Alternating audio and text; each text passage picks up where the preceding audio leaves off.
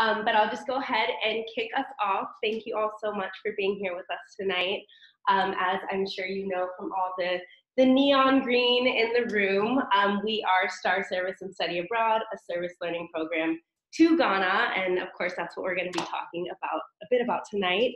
Um, so myself, I am Nialina Ali. I'm the co-founder, co-director of Star Service and Study Abroad. Um, I'm originally from Oakland, California, and my background is in international studies, Africana studies, and I'm also a Juris Doctor candidate. And how about you? Oh yeah, me. How so my name is Brittany, uh, the other half of Star Service and Study Abroad, and I have my undergrad in anthropology and applied masters, applied anthropology masters, and I'm working on my dissertation right now, also in anthropology. And a lot of the things that you guys mentioned definitely overlap with some of my own interests. So, as an applied anthropologist, I've looked into things like colonialism and um, medical anthropology was my focus, which ties in well with the public health and the global health. So, yes, that's a little bit. And then uh, if I have to put a, another screen on, it's my 10 year old daughter that's at home. wanting to all of our be a part of this. So, yes. um, yeah, so it's so cool to hear all the different interests in the room, and I think that's one thing I know I really appreciate about our program and what we do, and how um, all the different perspectives that we bring into the classroom already here in our information session, but it's really cool when we see it actually in action in Ghana and seeing all the different ways your majors and interests really intersect and overlap with one another's. Um, and so with that said, now that we know a little bit more about each of you, we're gonna go on ahead to talk a little bit more about us. So we're clicking in two places here. All right, so a little bit about us. So again, um, I'm Mia, this is Brittany. Um, we're both five college based. I'm actually a Mount Holyoke alumna myself. I think there's a Smithy in the room, right? Um, but we're all five college families, right?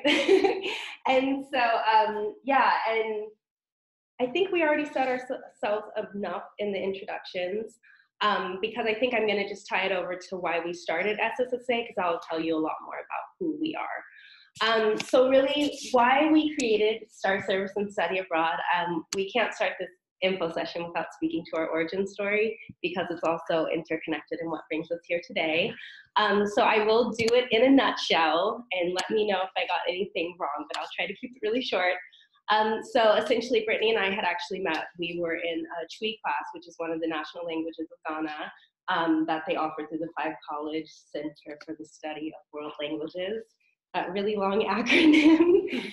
and so um, we were both met in this Twi class. We were the only person, so out of the tens of thousands of people and students in the Valley who could have taken the class, it was just the two of us. Um, Brittany had just returned from being in Ghana doing research, which I'm not even going to attempt to try to try to capture in a little nutshell, but she had been doing research with an organization in Ghana.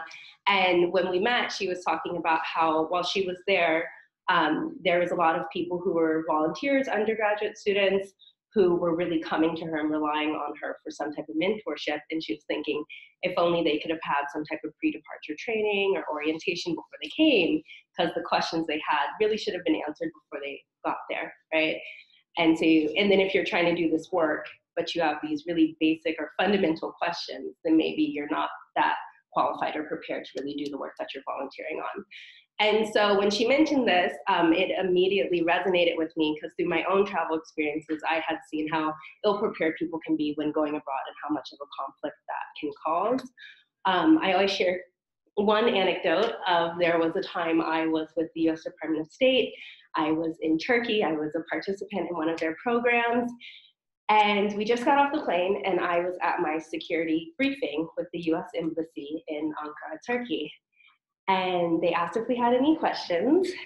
And I was the only person of color in my group. And I asked um, about anti Blackness in Turkey and my safety. I'm in a new country. I know there's parts of my own country that I want to know about, you know, safety precautions. And I'm in the embassy, it's the security briefing. So I thought this is a really great place to know if there's any hate groups going on or anything I should be aware of. Um, I got absolute crickets. I made everyone really uncomfortable, and it was crickets. And I'm thinking, wow, you know, this is kind of the place where you should really be able to get that information. So then there's also the question when you think of preparedness, but also like diversity and study abroad there's just this really huge joy through our conversations that we were both able to identify through our own travels. And so we created STAR Service and Study Abroad to try to fill that void.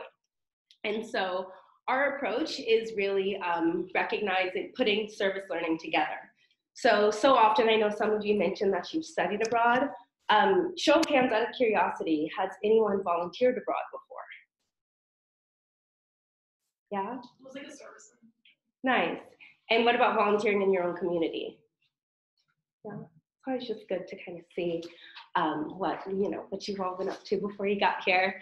Um, and so we put the two together because we find often, especially when it comes to international volunteering opportunities, you have people who are in a foreign country to help people, but they're not really learning anything about structures, systems, politics, culture, history. I mean, the list can be so long. So, how helpful can you really be if you don't know the larger societal context? And then, if you take it to the other side where you have study abroad, often people go to study in other countries, but that often puts you with a very specific demographic of people, just as we see on many college campuses here. So um, already class-wise, you might be with a more privileged group of people, and you also might be with people of the similar age. Just very generally speaking, um, but often in study abroad, you're seeing a very narrow view into a country, right? You're not with people of all different ages or all different backgrounds. So when you put the two together, you can be more informed and more capable and helpful to actually make meaningful contributions to another community. So we are, that's our solution to a lot of what we saw, was just putting the two together. And so um, we're gonna talk a little bit more about our service component and then our study component. Would you like to take us away? Sure. All right. So, uh, I started going to Ghana in 2016 after a couple of years of having conversations with um, Eric Agyemang, who Becky got to meet, and he uh, is a co-director of an organization in Ghana called the Cheerful Hearts Foundation. And so I was in the process of doing my applied uh, master's degree, and I had to do some sort of internship for that. Uh, and it only had to be for a summer. And I was, you know, it was 2013, my first year of grad school. I really wanted to do something related to medical anthropology and global health. Uh, and I really wanted to do something where it was really grassroots focused uh, with putting band aids on problems, but also trying to do some sort of advocacy and systems change. And so I did a whole semester research project on NGOs.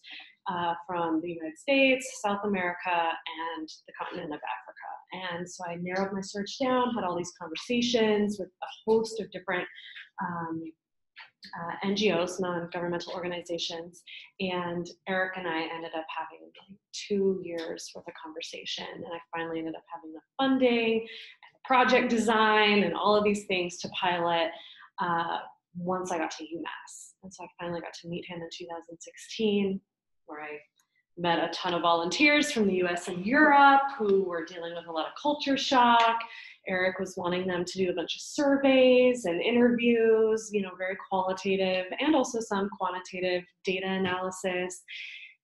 And they're like, I don't know what to do. Like they're 18, 19, 20. Like they hadn't had any research classes as undergrads yet, sophomores and juniors, you know, so I was helping them a lot uh, with all of these different things, navigating taxi drivers and money and you know, just all this stuff. And I was just there to do a pilot study.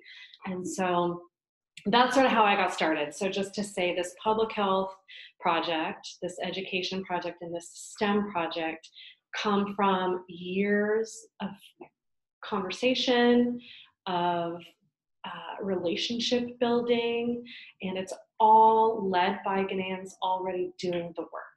All right, so these are not projects that were our ideas at all. Uh, we don't work directly with Cheerful Hearts anymore. They're going through growing pains, as nonprofits do, uh, reorganizing and restructuring their stuff. Uh, but we still work with people within their network and in their circles. So, to start, the Public Health Project. Is that the first one? It is. Yes. Great. The Public Health Project. All right. So, Ya, she here in this picture used to be a member of the Cheerful Hearts Foundation, and she since has moved from the Accra region uh, in the central region to uh, Kumasi. All right. And then her friend Mamle also worked for Cheerful Hearts, and she has started her own business and also her own nonprofit that's geared towards specifically helping young women. Right. And so um, this coming year, they're doing a lot of things around sanitation and recycling uh, from a public health perspective. Also, teaching about sexual health and reproductive health. All right, so last year, some of the volunteers that we took with us did a whole uh, inter school uh, Jeopardy, and they made it really fun and interactive. The kids had a ton of fun. Uh, they did some health surveys, but it was mostly related to piloting this whole sanitation and recycling project. Uh, entering data, we do a little bit less of that right now. There's not as big of a research component. Uh, however, that is always subject to change. And then support and assistance wherever needed. So Mamle and Ya constantly have different things. There's a lot of moving parts when you have a nonprofit. And so part of the roles of the SSSA students is to work directly with us uh, to give the organization what they need. And if you don't have the skill, we can help build those skills one on one so you're not a drain on the organization, right? So we make sure that everyone can workshop things and then go to work prepared. Okay, so public health in a nutshell. Then we have the education project. So Padmore here uh, is a really good friend. Hi, come on in. You guys can get some pizza. We're just talking about projects. Uh, so Pat Morgan is a good friend of mine. I started talking to him around the same time that I started talking to Eric. So 2014 or so, I started talking to Padmore. He also has worked with um, the Cheerful Hearts Foundation, but he has his own organization called the Campaign for Learning Differences. Used to be the Campaign for Learning Disabilities. And they work to help children with learning differences. Uh, so that could be um, being on the uh, autism spectrum, definitely with reading and dyslexia uh, issues. Um, oh, thanks. and Sorry, and I will just say too, these are the bullet points or things that people have done in past years, so it's also what it could look like. Right. But as Brittany's already stated, we're there to meet the needs of the current org. We're not coming to implement our own goals and agenda. So these are all possibilities. These are what students have done in the past, and so just to give an idea. Yeah, sure. Um, so he has his own nonprofit, all right, and so we work with him now in the Kasoa area. Uh, so if you were on the education project, that could look like, uh, well, it'll especially look like working alongside grade school teachers. So oftentimes what you'll find in the schools is there's, you know, 40 to 50 students, very crammed, and there's not always a lot of uh, resources for people who are maybe slower or needing special attention. Uh, and there's a lack of systems and infrastructure uh, especially in the more rural areas for for people who aren't just going to get it right away.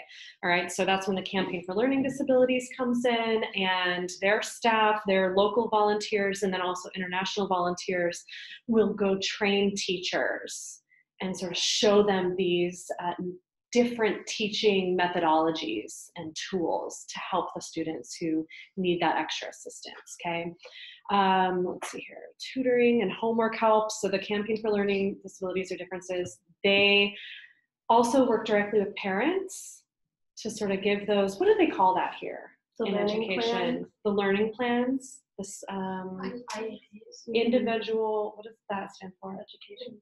Individual education plans. Yep. So they they've started implementing those. I don't know. I think five or six years ago through this organization you know and then the the ghana education service is also starting to pick up on these things and so you can start to see the system changes and increase in infrastructure and things so there's that advocacy part that's really important as well okay Oh, and then this will be our second year doing STEM. Do you guys work with, you two were doing engineering. Do you guys work with Nathaniel Lamptey. Lamptey? Yeah. Yeah. You know him? Yeah. Do you guys work with him? He's in the engineering. We know the sophomore this year. he's It's okay. Sorry. Sorry. Um, all right. So this picture here is Nathaniel, and he'll be coming back later to to talk a little bit about his experience last year. So he kicked off the pilot for the STEM program last year, and so Ya, who was in that first picture, like I said, she's in Kumasi now doing some other things, and she works with um, Charles and Michael at a place called Dext Industries. And they were born and raised in Ghana, went to university in Ghana, and they've created these kits to learn all about circuits and A lot of she did a lot of the engineering trading It's a little outside of both of our expertise but nia and nathaniel got down and dirty and did all of the different lessons. How many were there? 20 No, I think there's about 36 or more. 36 or more. Yeah. and it's just these small kits here and And- you do all these different exercises And so it's funny because this is like not a part of our daily vocabulary at all. But having been, this is actually a photo I took of Nathaniel and Michael, one of the founders of Dextech, who um, during a training session. So some of the things I know there's resistors and capacitors, and there's projects that can produce light and sound. And so it's like a lot of basic fundamental concepts related to STEM and engineering. But through this kit, which is accessible, relatively affordable, and you can see like all these little components in that black case that are just very well put together through this single kit, a child can have this entire huge classroom experience learning. And it was actually interesting too, working with Nathaniel. He's studying engineering here at UMass in university. And it was, he was even saying it was helping him gain a deeper understanding of things he's learning in class now. So it can help with that understanding through different ages. You know, it's a simple tool with a lot of applications. And I learned a lot, even though I can't recite it all. right. So Nathaniel was great to have on board because at least that was part of his Lingo. exactly. Um, and you know, of course, we were learning and studying. I should say more Mia than myself because I was handling some of the other things. But uh, so if you come and you're a part of that STEM team, uh, what Ya and Mamle have both done is sort of take this nonprofit model, this outreach and advocacy model, and taken this business with with Dext Technologies. So to bring these affordable resources to schools and then to do the hands-on training so that the teachers then can do the lessons once the volunteers leave. All right which is a whole conversation around volunteerism that we get into at some point. All right so if you're here you're going to be doing uh, the science set training directly with michael uh, you'll be teaching and working with the educators the science teachers You'll be helping with the curriculum development. So there's already lesson plans for these. But of course, you know, if you have ideas to make it more engaging or something that works well for you, that's something that you can do um, while you're there. Collaboration and logistics. We're going to help you have spreadsheets and figure out how to organize with multiple teachers at multiple schools and get these calendars and all of these things situated uh, so that it runs smoothly. So, all of you at some point are going to have a little bit of um, research or program design, right? That'll help you uh, in school and in any other projects you do in the future. And in monitoring and evaluation, uh, Michael at Dext Technologies would really like to hear from the teachers, the volunteers, and the students who are working in the classroom uh, what works well and what doesn't work well because they're wanting to constantly improve these. They've gotten some contracts in Europe, like million dollar contracts to send these sets to schools uh, in other countries. And so they're always constantly wanting to be mindful of their product. Okay, so that'll be um, something that will be happening this summer. Yeah. So with other interests, uh, we're open to all majors. And as an applied anthropologist, I can take any of your guys' interests journalism, global health. Uh, what were some of the others doing? I forgot. A lot of education. Education, colonialism for sure, anthropology, STEM, uh, but we can really work with you if you have an idea. Uh, you can submit a proposal for you know an alternative project. You know when you apply with us, we'll work with our partners to see if it's feasible. All right, but part of the conversation that we have is thinking through our projects like are we sure we can go to another place with a new idea Mhm. you know so we'll help work backward and sort of see what the sustainability and feasibility of your idea is but we'll, we'll keep in conversation throughout the entire process and you won't necessarily be shot down but we'll, we'll work with you on, on the design And I think the STEM project with Nathaniel is an Yeah. example of that. Yeah. Yeah. And so he had initially come to us with a very um, word, ambitious project idea um, that wouldn't have been feasible for the time we were there. Um, and wouldn't have exactly aligned with our values of sustainability and mentorship and different things, but it was STEM related. And so we reached out to our network and we had Ya and Kumasi who was working with Dext Technologies. We thought this is something really awesome and we already have people doing education and that's something that can be expanded and sustainable. And so he kind of launched that. So it's a good example of how present us with your ideas. We love ideas. And then again, like Brittany said, we can work backwards and oftentimes find something that's mutually beneficial and ideal. Yes. All right, so for the study component, um, so I'm a PhD student here at UMass. I already teach intro to anthropology classes.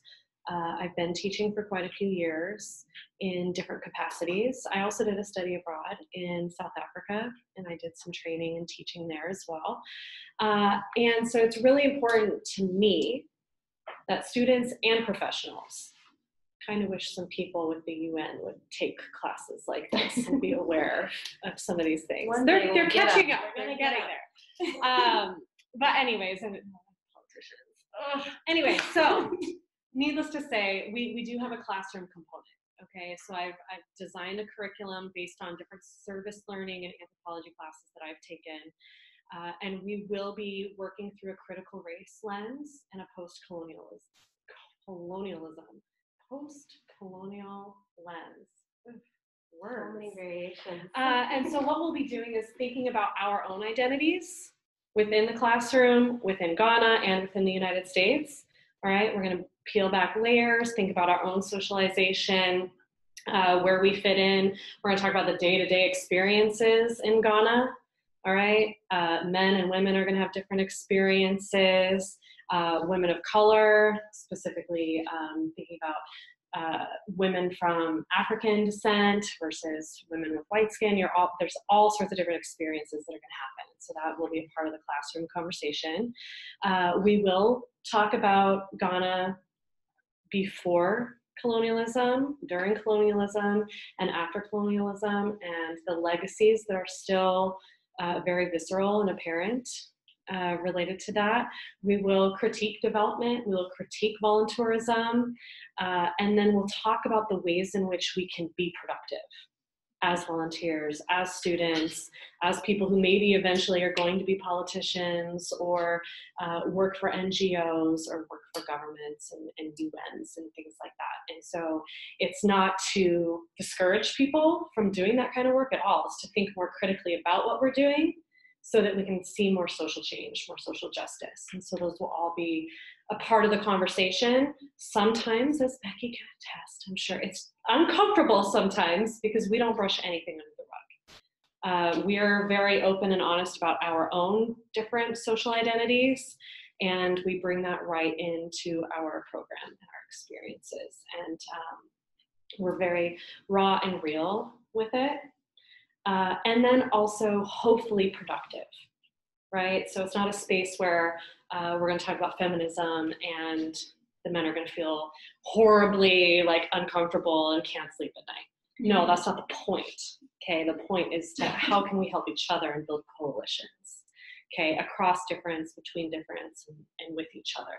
And we really do that also with our partners. Okay, so you're going to see in Ghana there's different perspectives around slavery and how to navigate those conversations. There's different ideas around religion and gender norms that you will hear everywhere you go, you know, and so that's part of that that process and that conversation. Um, so can I talk about how it's set up? Yeah, can I add something really Yeah. quick to that? Just because it's burning at the top of my head. One thing to recognizing that all of these conversations and skills and ways of thinking are directly applicable here. Um, Yes. And so I just can't help but mention so outside of Star Service and Study Abroad, um, I'm also an AD for Human and Common. So I work as a diversity consultant. So when we talk about these conversations of be it class, privilege, history, all these things that are rather taboo or you're not supposed to talk about on you know regularly. Um, i spend so much of my time facilitating people and guiding those type of discussions because just because you don't talk about them doesn't mean that they go away. And especially if you're not from a country and you're there thinking that you're there to help but you don't want to talk about anything that's too touchy you're probably not going to be that helpful right? And so just saying we both have different ways that we pull our experience and um, also the absolute reality that you can't be helpful if you avoid these conversations, but we pull it into a very um, in an academic um, module, you know, and format as far as still classroom discussions and readings and activities and lectures, which we have, and all different types of things. But just these are a lot of the topics addressed because they tie directly into STEM and special education and public health, right? They're very relevant to the work you'd be doing. Yes. So what we would do, just to make it really clear, no, it's fine because this ties. It's fine. You can. Okay. It ties. So what we would do, you would have two days where you're in the classroom, and the classroom's literally part of the the hotel that we stay in. Um, and so we're there. I'm the person instructing it. I print out all of the readings for everybody. So you're gonna have some some Collins and Audre Lorde, and then you're gonna have some, uh, you know, news articles from Ghana related to the school or recycling or whatever policies. You're learning about the local politics and economy. Uh, then we're gonna have some history. What was the one you just said? Oh, some Paul Farmer. so we'll talk about some structural violence and things. So even if you're not an anthropologist, I try to keep it like we're we're reading it and we're discussing it and it's accessible. Right. Some NPR, some videos, some Chimamanda Adichie, some Trevor Noah. Like we keep it, we keep it fine. Like I, I use a lot of different concept mapping and things and videos to make it accessible for everybody, no matter what your major is. And then we'll apply it to all of your different projects. And you know, just thinking critically is really what it's about. Uh, so that's for two days during the week. I think we did Sunday and Monday last year and then you're with your um, project uh, managers three days a week, Roughly. basically. Don't right? quote us, but it's a it's You get a lot of hours. You keep yeah. really busy, uh, and so then you'll you'll be doing your project at the site, uh, and then on the weekends we do excursions. So part of what you'll do is learn one of the main languages in this particular region, Twi. Okay, so that's really fun. We have a local school teacher come and teach you. It's not Eric anymore, but um, her name's Becky. her name's Becky, and she's really great. And so you'll have snacks, you'll learn how to have basic conversations, maybe understand some of what people are saying to you. So even though every, you know, English is a very common language, uh, depending on where you are, it's it's helpful to know some of the the Twi. So you'll do that, which is fun. English is. It's a form. So so Ghana is a former colony of Britain. Um, so there's multiple official languages. Yeah. English is technically the the language of instruction in schools once you get past a certain grade. Uh, and then in the region, the central region where we would be, Twi is the most common after English. Yeah. Hausa, There's a lot of them, hundreds. So, there's a lot. but those yeah. are top three. Yeah. Of course, we'll have guest lectures. So I do not claim ever to be an expert in Ghana. Um, the very first year, I was hesitant to even teach about Ghana, but we, we have started to tie in more news and uh, more uh, different cultural understandings and things within the, the learning context with me, but we'll have guest lecturers, whether that's, um, you know, practitioners, so maybe a traditional um, healer, uh, that could be a professor from the local university, uh, someone from the government. We've had different people come and speak to you guys. So you get a range of perspectives while you're there. You get to meet people uh, and see all of these different ideas and how it all comes together, all the complexities of a society. And there's Becky. So she Oh, really was with us our first year There in you the are. Greek skirt. Oh, yeah. And do you remember who that is? That lecture? Yeah. Um, Oh yeah. that, It's okay. It's not a. T- it's late. No, no, no, no, I know what, I can't explain it very simply, but he teaching about Ghana when it was like during its colonial era. Yeah, it was um, Chief um, Danchi. He was giving a lecture on the culture of childhood and like kind of pre and post colonial. And then above that, we had Dr. Kofi Baku from the University of Ghana um, lecturing on the tra- the Atlantic slave trade from West Africa, which was very interesting because here we often hear from you know the other side of the story. So it's a different perspective. I'm gonna let you. Come so with the what you'll see is that I'll do a lot of the education and networking things. Mia does a lot of the logistics, budgets, and spreadsheets. and this next part is like my zone. her zone. yes. So, um, as you know, so we are, really are star service and study half and half. You get the service, you get the study because they go together. Um, but when we're not in the classroom or we're not out working, um, we do have fun, and so we have some excursions because there is a lot of beauty to see in Ghana.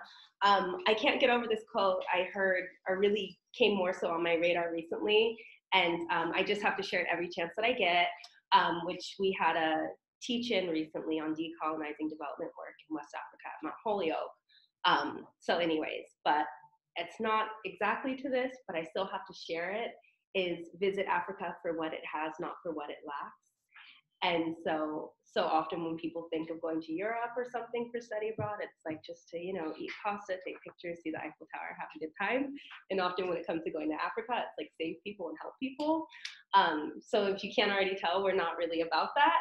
Um, so obviously within the curriculum and the service work, we're building components of, okay, if you're gonna do it, here's ethical ways, critical thinking to really apply to that. Um, but also we can't go to Ghana without appreciating all of the beauty that it has. Um, it's it's one of my favorite. I mean, I don't go there to vacation, but after all of you leave and I get to have a weekend, it's one of my favorite vacation places. um, so these are just some photos of some of the trips that we take. This is the Kakum National Park. It's one of two, I believe, canopy walkways on the entire continent. So you're literally walking in the rainforest in the can the tree canopy. Um, and then, of course, for the sake of history, Ghana, um, one thing that um, Ghana is known for is the high uh, concentration of slave dungeons that they have. So they're former European fortresses. They're often referred to as slave castles, but that seems very like a kind of oxymoronic, I don't know, slave castle. Um, but they're dungeons, they're holding cells, but then upstairs is where a lot of the, you know, fortresses and European traders were. Um, so Cape Coast is one of the places where they have two very large castles, so we also do visit that. And again, providing that historical context we are there. Um, this was another photo of um, Senya, which is a nearby community. Our base is in Kasoa, but um, this is Senya, which is a fishing community. And so I think Becky's year, um, this was a, an internship site actually. So this is what it really could look like when going out to do your, your internship work. That's Ali petting an alligator. We don't endorse that. We don't pet alligators, but there was a moment we captured it. But again, there's a lot of cool stuff to see and do in Ghana. Um, I don't know why it says delete there. but this is actually one of my favorite pictures, and I love being able to say it as we sit in the space that we're in right now. Um, I see a lot of UMass sweaters, so you know UMass is, is the W.E.B. Du Bois Library. Um, but this actual room is the W.E.B. Du Bois Center. And um, I'm, I won't give a whole lesson on who he was because I think there's a lot of information around all of these walls to learn more that I, you know, it's better to absorb it from that. Um, but he was born in Great Barrington, Massachusetts, and he's known as a huge Pan Africanist, and he's done a lot um, in the intellectual realm for Black people, Black rights, and kind of reconceptualizing Blackness in the US and globally. It's really hard to put his work into a nutshell. Again, they dedicated a whole center to because of his legacy. Um, but he was born here in Massachusetts. This is the Du Bois Center here, and he died in Ghana. And again, he was a close friend of Kwame Nkrumah, um, the first president of Ghana. And so, really, just connecting that work as he did. Of course, we're nowhere close to that, but in some ways, we have that kind of Massachusetts Ghana connection. And so this is a photo taken from the W.E.B. Du Bois Center of his original collection of books. So I love books, so this is so cool to me that you can actually touch this history from this very important person. And then um, some other images. I guess you're really popular tonight, Becky.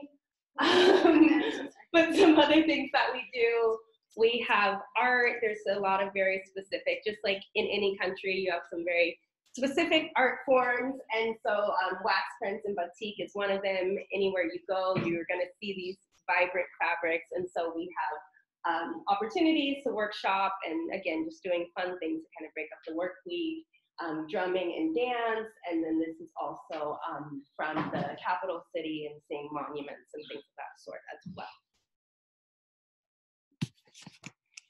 And now we're just going to jump abruptly into our costs. Yeah. So I guess all that good stuff doesn't come for free, unfortunately. Maybe not the best transition, but um, also out of respect of everyone's time, as you can see, we're running through all the information. Then we're going to open it up for questions. Um, so moving right over to cost. Um, I don't, first and foremost, I'll share a little bit of trivia.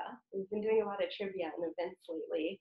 Um, so the average study abroad program is about $6,000 for four weeks. So that averages $1,500 and that's not very accessible to most people. And so study abroad in general, you know, just being able to put your life on pause to go to do something else that isn't working or studying in general isn't very accessible to people. But when you really look deeply into the industry, there's a lot of concerns that we had, um, not just on a grassroots level, how people are engaging with communities, but also on a capitalist corporate structural level, um, the amount of money that's in the voluntourism industry as well as the study abroad industry, and how that perpetuates it not being accessible, it not being diverse, right? And people not being considered within organizations. So then it's no surprise that their projects aren't very considerate of the people outside of the organization. Um, so we spent many, many, many months. This is where my spreadsheets come in um, to try to make it as affordable as possible without compromising the experience. Um, yeah, and I think part of it is that we don't make six figures, but because we want you to come and be able to come. And so our cost is $2,985, so it's slightly under $3,000. One thing when coming up with this figure that we also kept in mind um, is funding and what that looks like for a lot of college students. So I know very specifically for Smith and Mount Holyoke, there's the Praxis funding or the Lynk funding, and they usually give grants that are like three to six thousand dollars for summer internships, and you have to have a certain amount of hours too. So we structured our program to satisfy the hour requirements for most grants and internships, and then also to meet the cost that you would likely be awarded from a grant. So that's one thing that we tried to work within. Um, and so that includes your housing, your meals, your classes, all your activities, your daily transportation, and a weekly stipend. So basically, once you land in Ghana, you're covered. And our program, um, if I failed to mention, is actually six weeks. So when I gave the statistic about the average of $6,000 for four weeks, ours somehow managed to be half that, but two weeks longer. I don't know. We can ask the questions to those corporate CEOs what their math is looking like. But again, this is for six weeks. Everything you eat, everywhere you go. That weekly stipend, we try to level the playing field too with spending money. Because um, I've been in study abroad programs where everyone's not going out as much as everyone else and you know not buying all these gifts and just money and stuff we just want to level the playing field so everyone can be focused on the work that they're there to do Um, and so um, I will just say, because it's not on the slide, um, but as with most study abroad programs, the plane ticket is not included. And then also when it comes to visas and vaccinations, passports, some people have a passport, some people don't, so that's not something we can account for. Vaccinations, some people have health insurance where it might cost $30, some people don't, it might be 300. We can't account for any of those things with a third party, so those things are not included in our fees. But again, once you land in Ghana, everything is covered. Um, so as far as funding your travels, and again, we're gonna have a Q&A, so any specific questions, um, we can definitely get deeper into this. But um, first and foremost, speak with your advisor because every school has different opportunities, but we highly recommend that. But again, if you are a Smithie or Mount Holyoke student, you can also talk to me, and I feel like I have a lot of, I hustled that system when I was there. Okay. yes, please. Please raise your hand if you're a UMass student. Okay, thank you. So I'm also at UMass, and I just want to speak about UMass. So whether you go with us or whether you go do something else with whatever, any other organization or travel. Um, so speaking to your advisor, because most of our departments have some sort of funding for students, you just have to be creative with it. The social and behavioral uh, SBS, social and behavioral sciences, they do have funds. Uh, one of our students, was it from last year or the year before? Tiara. Tiara, oh man, Tiara last year. She's a anthropology major, Public health. public Yeah. health. Whew, she got so much money through UMass, through so many different avenues. I will pick her brain more, but I know that the anthropology department, SBS, Yeah. I don't know about IPO, but she she I don't think spent any of her own money. She got it all through different scholarships and funding things through the university. So you do have to be a little creative, a little scrappy. Uh, we've also had students who have completely fundraised all of their stuff. You know, so no matter where you go or what you do, you can you know GoFundMe is really popular, but um, there's also places like the Legion and Rotary. Eagles Rotary clubs. Yeah. They'll fund different things like this. So we ourselves don't offer credit. I know that's coming up. Um, so I know some of you might be relying on financial aid for the summer. So you need to get like six credits in order to get financial aid. We'll talk about that in a minute. Uh, but just thinking about fundraising and scholarships and things, there's money. Don't let them fool you. So one person says no, go to somebody else. Yeah. Becky? the, for the journalism major, you can get de facto credit. Like I did a Yes. different internship this past summer and I just got credit Yes. for it. Which I actually advocate for, and we're going to go on a tangent about that in a second. We have a whole slide for that. Yeah. Okay. Thank you for I- that. And um, yeah, definitely. I mean, between myself and Brittany, both having navigated the undergrad university system, coming from working class backgrounds, um, I know we know how to get money from these institutions, the ones that we give money to. Um, and then also other students who we've worked with in more recent years who are more close in your positions to different majors. Um, I think we have a lot of information to offer, so reach out because we really do. I mean, even if you share a link with us, we donate, we share it with our families and stuff, and they're happy to, you know. So, in big and small ways, reach out because we're happy to make this possible however we can, and we try really hard to be very accessible. Um, and so, but also, yeah, speaking with your advisor, and when we talk about the credits more too, just recognizing different experiences with different different majors and stuff. Um, so, getting to the credits. Um, so as mentioned, we do not offer credits for our programs. And first and foremost, I might really just be repeating myself in so many different ways, and I think you can really get a sense of who we are and our values from this. But we don't give credits for a very specific reason. And again, trying to maintain the affordable and accessible. When we give credits, we would have to triple or quadruple our funding. So you're actually paying more for the credits to go to a university, for that money to go to a university, than the money that you give us that could go to a community. And so we haven't been able to resolve or make peace with our program being $10,000 and several going to the university. It just seems like it's kind of counterintuitive. Um, and so that's the biggest reason is if you offer credits, you increase the cost. However, we do recognize that there is a really big benefit in being able to have credits because then you can get financial aid, you can get a loan, and it offers you more methods to make this possible. So for those of you who are interested in getting credits for this experience, um, Becky just mentioned having had experience with this where you can do a fall independent study. So we do, that's the first thing we recommend.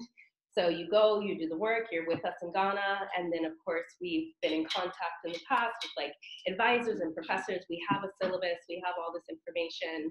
Um, so we communicate with them about what you did, and then in the fall you do an independent study around that um, and then you get credit for that. But it's still building off of the work that you just did.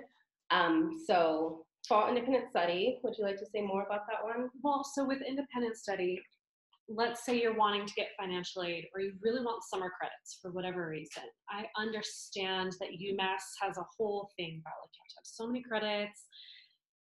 Oh, it's different than when I was in undergrad, which is fine. Um, so if you if you really need summer credit, all right, uh, at least six credits, I think, for financial aid is how it works. I can absolutely share the syllabus and the curriculum with your advisor. All right, so the first thing you should be doing is speaking to your advisor and speaking to me and putting us in contact with each other. And do six credits as an independent study through your department. Because then you're getting whatever your major is uh, an engineering independent study or something of that sort and i can work with your professor. There's not like hundreds of students doing this program. It's not unreasonable for me to work with you all one-on-one. Okay so so you can still do the independent study option. Uh, you can also do internship credits. So if you go to the internship office um, at umass which i think is in is it still in I don't know. I don't know. I don't doing with all the understand internship credits. We didn't have that at Mount Holyoke. So when you do an internship, you can get uh, Mhm. academic credit instead of you know, and you can actually get paid for doing internships too. I've learned, Mhm. but um, you can get internships through the internship office here on campus, and I don't know where it is with all the construction. Um, So one thing with that too, I don't think anyone said they were a business major, but just as an example, um, I know the Isenberg School they give out internship credits. We have a contact person there um, where you could easily get three credits or so for this experience for you know summer programs of the sort. And so that kind of brings us into also talking about the differences between departments. And so the um, differences between departments and recognizing that all credits might not be applicable to your major. And so that's another thing just to be conscious of, again, whether or not you're with us or going with any organization, sometimes they can have credits, but maybe if you're an engineering major, having a bunch of anthropology credits might not really help you to graduate any sooner or check anything off. And so um, that's just something, again, to be mindful of. And it's another reason why um, we say go work as closely as you can with your department and then with us as well. Um, and I think that covers it as far as credits. And again, we'll open it up for some questions soon. And so, um, with all that said, you heard about the service, you heard about the study, and then all the fun stuff that we do in between the cost, the credits, and then at the end of this whole program, some of the takeaway and the value. Again, this could be resumes, CVs, and also just for your own personal growth and skill building. Um, you absolutely will gain research skills, um, whatever project you're working with, leadership skills as well. Um, I'll just tie that into saying too, I think we do a good job balancing um, guidance, support, and mentorship. Because again, from our origin story, it's important that people have some type of orientation before they get on a plane and go somewhere else. But we're not holding your hand the whole time because we also recognize that you're young adults and we respect your kind of uh, independence and autonomy in that way. So something that's really cool too, compared to I actually also studied abroad in South Africa, and I was with the same people every day from like 8 a.m. to 8 p.m. in a room this big. Loved some of them, but that was a lot. Um, but because we have the three different projects, like if this was the classroom, half of the week you would be, you know, maybe you'll take a bus or you'll take a taxi or you'll walk to your internship site. So there's that level of independence, you know, as far as going and coming. Um, and so then when we say leadership skills too, that's kind of tied into that again, recognizing, you know, young professional, these are all important things to be able to practice. Um, and yeah, professional development, be it dress, be it communication, and you'll find a lot of overlap whether you're working domestically or internationally. It's just really good to be able to have some practice with some skills that uh, professional skills. Um, absolutely building an international network and community. Um, I think that one speaks for itself. But as you can see, we're, we're here and our network is there and you're able to kind of tap into that and build that in a lot of different ways. And that can contribute directly to your thesis or any capstone projects that you're doing. Also can prepare you for graduate school. I think Tiara's applying to grad school as we speak and there's some, anyway, so sometimes there's these overlaps and a lot of aha moments as people are kind of in Ghana and they're also planning for their senior year and it can really inform that next step. And then of course I think I don't even know what number we're at as far as letters of recommendations. I do a we have one student who's been on a roll, but again, thinking of that preparation for that next step, how that can be helpful.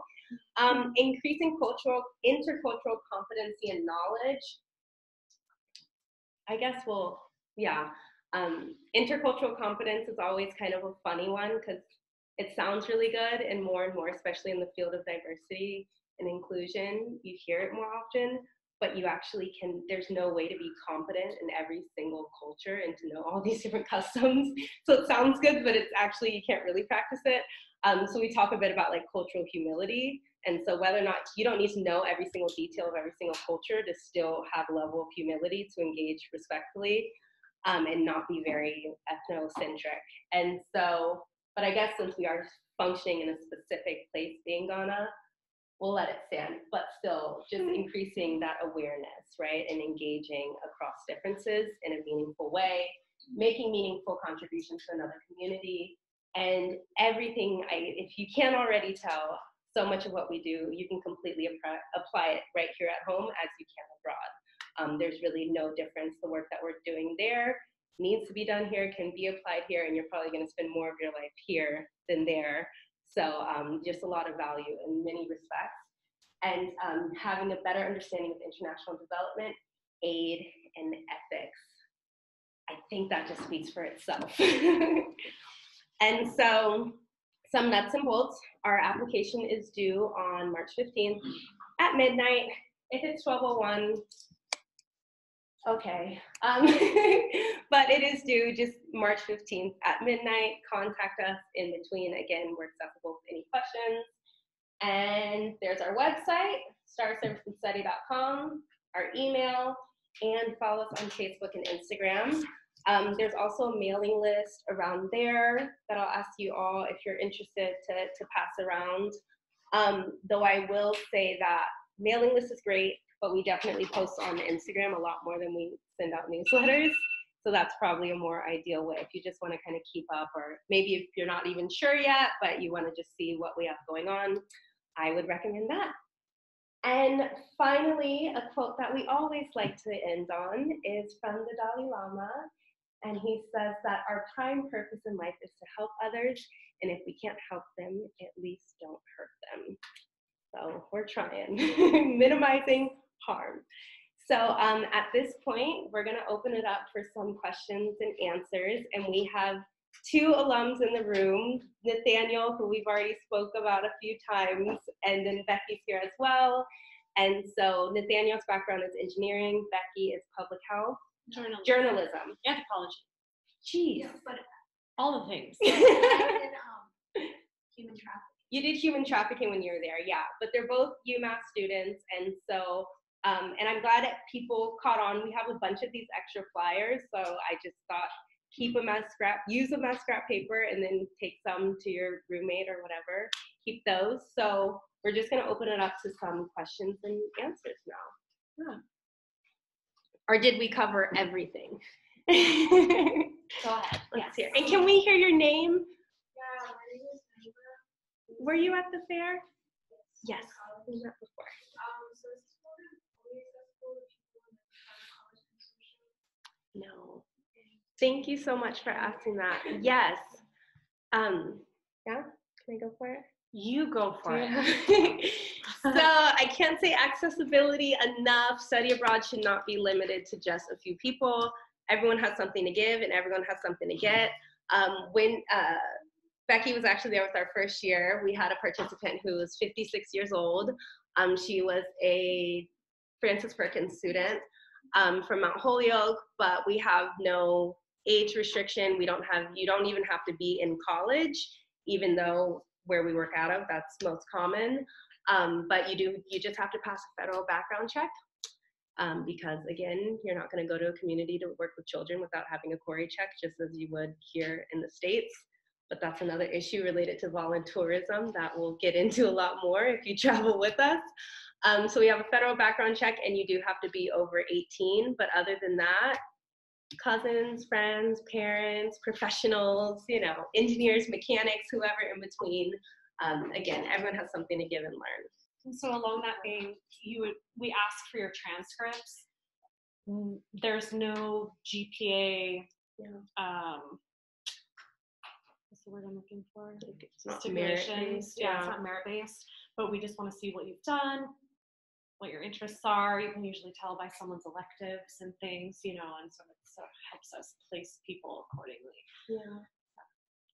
Any other questions? Yeah. All right. so, um, for the classroom, um, like there aren't like grades. Huh? Are there grades? No. Okay, that's what I thought. No. If I try to keep it um, more conversation based, I don't really lecture a whole lot. So we'll do the videos, we'll have watched readings, we'll do some concept maps, try and keep it fun and try and figure out what the heck's going on in in our Yeah. daily lives and, and you know think about our identity and stuff. So we get real through that. Um, what time, what date are going? The this year, June 15th, I believe. I want to just pull up the website now to double check, but I believe it's June 15th to the end of July. Yeah, in July. So it's six weeks from, is June 15th a Monday? I'm sorry. No, it's fine. The 15th is a Monday. Yes, so we always start on Mondays. So June 15th, and then six weeks from then. And I don't want to give you an exact date, but it's totally on the website. Every year we go around the same times. The days like might be two days off, so I don't want to say the wrong thing. We'll meet you there June 15th for sure. Any other questions? How many people usually go? So our capacity is 20, and um, we usually have around a dozen. Several. Yeah. It just depends. Yeah, it depends on the on the year. Acceptance rate is hard because we don't want to turn people away because it's a pretty safe and, and secure like we keep everything on lock so you can't really mess up a whole lot um, yeah. but yeah so so we are asking also for um, recommendations this year of course too just to be mindful of Can I reframe that actually? Sure. So acceptance rate, I always think of like that's a measure for seeing competitiveness Yeah. into an institution. So we haven't been asked that before. No, We're like totally stumped. Um, but so acceptance Yeah. like you're being judged exactly. Mhm. And so it's really more of just a fulfillment of basic requirements. Again, that background check, an age requirement, an application, so we know about you, why you're wanting to come, and um, and then if you're able to meet those things, I think more more often than not, more so than us rejecting people is people who aren't able to come because of their own like life or logistical reasons, you know. Um, so I just wanted to like kind of rephrase that and step away from it because it's really not our approach. It's like, oh, we're gonna take this like you know very fine crop of young people and all these people can't go. You know, it's like again, everyone has something to give and get. And if you're not doing with us, you're probably gonna go with another, another organization and recognizing kind of the corporate ways of this huge industry. We hope you go with us, you know. And oftentimes, people who do these type of programs, like myself, who's been a part of many international programs around human rights or development and stuff, once you start, you keep going, you know, or people end up wanting to work for the UN or whatever. And so we just are very hopeful that if this is kind of the start or somewhere, you know, when you're starting off thinking about these things, the next thing that you do will be more informed and ethical, and you'll be able to kind of recognize when things aren't right, you know. So that's our that's our hope. Yes. Is the to um, not be there on June fifteenth, or is it like mandatory? It's mandatory. Um, but this sounds like this might be a very personal scheduling matter. This sounds specific, like there's a birthday on the 16th or something. So we can definitely talk about that more after. Um, but in general, there's a real flow to what we have. Every day while we're there is very intentional. Um, there's work to be done, there's things to learn, and there's fun to be had and bonding with the group. And so someone kind of missing those first couple days or stuff can be really, you know, it's it's not ideal. Um, but again, situation, just come talk to us and we're happy to see what we can work out. Did you have a hand? No. Oh, okay. Any other questions? So for the people who came in in the middle, did you guys need us to recap anything? Yes, but I don't want to make like everyone stay. Okay. Yeah. Okay, thanks. Yeah, no, that's great. So go ahead and stay here in a minute. Yeah. You said like a lot of forgot to tell or yeah. Go for it. It's not like a hotel like you would experience Yeah. in Amherst. Yeah. Though there is a pool. There is a pool. so it's not the Sarah Boff either. Oh. Yeah. So um, our accommodations. Um, so for the bulk of our stay in Ghana, we're in Kasoa, which is about Google Maps will say it's an hour outside of Accra. Real traffic time is like two hours, two and a half, depends on what time you leave. Um, so we're in Kasoa, and so it's I. There's a lot of different names.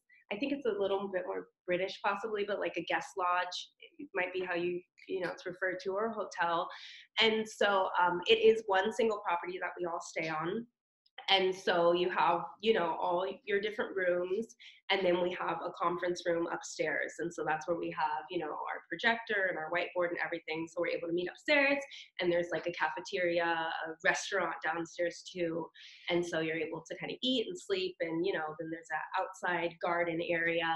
Um, but we do stay together. I know a lot of programs do homestays um, for a list of reasons we don't do. They can be very distracting to the work you're doing when you have 15 people we're staying with 15 families multiplied by mom, dad, baby, like 90 people in drama, and it can really just distract from what you're doing. Um, and so we stay together on a single property, and then even it's similar when we go on different trips and things of the sort. Um, but yeah, just being together just makes things a lot easier. And I, it's likely we might be kind of the only guests there too. So thinking of like hotels, it's not a bunch of people checking in and checking out. You know, it's it's comfortable. They're really they're really nice too. Yes. For like actual rooms, like would you be rooming with someone? Yes. So it's usually two to a room. Yeah. Yeah, that's pretty much it. and, um, and that's something you also see in the application that we take into consideration too. Is like, um, do you smoke? Do you drink? Do you need the lights off? Do you need the lights on? You know, and so we're not perfect matchmakers or anything, but we try to be conscious of people have different, you know, daily patterns and habits and stuff. But it is two to a room, and then there's always ways to kind of switch it up as well. You know, halfway through, we might just want everyone to have a new room. You know, again, we've studied abroad. We've been in enough programs to think of like that would be really cool right now someone just waved a wand and we all got to make a new friend. You know, so. Becky and Nathaniel, do you guys want to share? So Nathaniel is on the most recent in the STEM project. Do you want to share any things that surprised you or things you think people should know about the program? Um, the hotel yesterday at Bloom Hotel, um, like you meet a lot of like, old people over there, like just like the same people. And, Every year. yeah, so like They're great. a bunch of like funny guys over there and just hang out with. The food there is good. Um, you get to see like a lot of cool places in Ghana. Um, like um, the courses there, the lectures that they're gonna teach, really good too. It's like public health, but like they try to cater it to like whatever major you have. So it's always interesting. And like if you like the dialogue, that's really good for you. Um, we didn't pay him either. I promise. we only offered him pizza. and Becky, you were on our first year, and at the time we were doing an anti-trafficking project, project with Cheerful Hearts, which we're not doing right now. But you can talk about the research and stuff. Yeah, so mostly what I was doing was um was interviewing ethnographic interviews. So I went out with an interpreter, John, who's also my age, and he was studying at um Uni- University of Ghana in Accra. And so we would go out when it was our days to work together, and we go and we you know interview people, and the tree was really helpful. I mean, I you know I was really She speaking was to very She's on fire. She knew all the neighbors. oh yeah. Well, also I would talk to a lot of people in the neighborhood, but um, yeah. So I was, you know, conducting a lot of interviews, which was it was really nice to, you know, like meet people that you're interacting with. Um, and then I would bring the data back, enter it for Cheerful Hearts to use for, you know, like creating, you know, for presenting, you know, po- you know, policies that the government will enact, or like meeting with the U.S. Embassy to you know, push the Ghanaian government to do, you know, to enact certain policies that would actually help the people. And um, yeah, I definitely hung out with people. Like I used to have. Did you ever see like the trail of kids who would follow me to work? Yeah. Like, oh, there goes Becky. The duck, the ducklings. yeah. Well, also um, I'm white and I would speak Twi really badly, and so all the kids thought it was really funny. They'd follow me around saying "obroni." Brony, oh, Brony. yeah. Yeah, and they would ask me to speak Twi, and I'd say, and they they start laughing. And they say it again. And I would. but um, yeah, I mean, like you're in a, yeah, like the independent, like even though you're in, you know, like star service and study, it's really important to be out in the community. You're doing community work, so it doesn't mean like just interacting with the community when you're supposed to be on. It means like actually being out there, and you get to learn what life is like. And like as a woman, I felt pretty safe too. So if you're worried like walking around at night, like I used to walk everywhere and I would do a lot of stuff by myself. And when we were in Accra, I one day I was like, oh, I'm just gonna go on a Trotro, which is like a bus. And I started talking to the women on the bus, and then I just spent the rest of the day with one of the women. She's like, I'll show you around. so she's like, this is where my mom works. She works in the post office and post office, which is a neighborhood, I've got a neighborhood. This is the lighthouse. This is the this.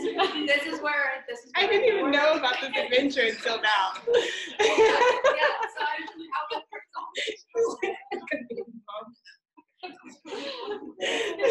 yeah. People will want to show you around. And I, sure. I think two great things that you just highlighted is one, you have independence. We're not big with too much hand holding. And also identity. You can't avoid it. That's why we talk about it in the classroom. Because even on the street, it'll be pointed out. Nathaniel, did you make new friends while you were there too? Some drivers and This is fair. people.